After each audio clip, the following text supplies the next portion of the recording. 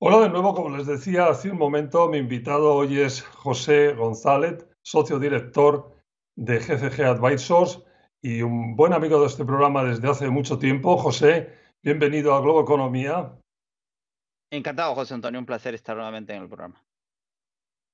Y un placer tenerte con nosotros para este eh, primer vistazo a la economía de la era Biden que vamos a dar en estos primeros días de, de su presidencia.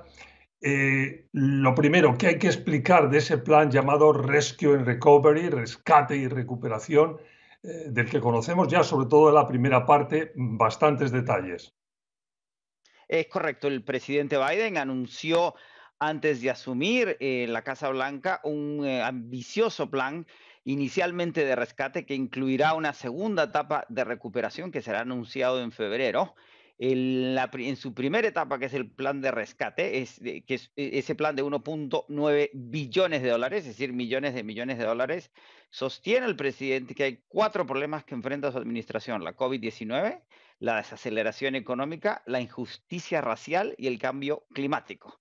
Ante eso, eh, propone en ambos planes, el de rescate y recuperación, cuatro ejes fundamentales. Atender la salud pública inmediatamente. Hay un plan específico, específico sobre la producción, distribución y aplicación de vacunas para que la mayor parte del país esté vacunado hasta septiembre. Apoyo fiscal, que es un plan que se presenta nuevamente ante el Congreso para compensar eh, lo que no se pudo aprobar el año pasado. Un plan que, que ataque, que resuelva la inequidad, particularmente racial, que hace mucha inferencia en el empleo, y el proyecto Climático 21, que es lo que se espera sea el gran aporte de esta administración al futuro de la economía de los Estados Unidos. En la primera parte del, eh, corrígeme si no es así, pero la primera parte del plan, la parte del rescate, del rescue, sobre todo el énfasis es en las dos primeras, eh, los dos primeros capítulos que enumerabas, ¿no? el tema de la pandemia y el tema de, ah, del estímulo. Ahí los dos temas son importantísimos y sobre todo son dinero. Hay como unos 400 mil millones que yo citaba en la, en la introducción destinados a mejorar este plan de vacunación que ha empezado con muchos eh, contratiempos eh, y hay una parte dedicada al tema de estímulo que se supone que debe ser mm, lo suficientemente grande como para verdaderamente mm, vigorizar la economía. ¿Cuál es tu sensación de cumplimiento de estos dos objetivos, suponiendo que ese es otro tema, luego lo, vemos, que no tenga obstáculos para, para pasarlo, para hacerlo realidad? Eh, los temas iniciales en términos de estímulos económicos es incrementar los 600 dólares en entrega de efectivo a los ciudadanos norteamericanos en 1.400 dólares más para llegar a aquellos 2.000 dólares de que se hablaron a fines del año pasado. También incluye un suplemento mensual en términos de la asistencia al seguro de desempleo de 400 dólares por semana, eh, por cada semana. Eh, y en el término de las vacunas, que es lo inmediato eh, y urgente, incluye 70 eh, mil millones en, términos, 50 eh, mil millones, perdón, en términos de, testing.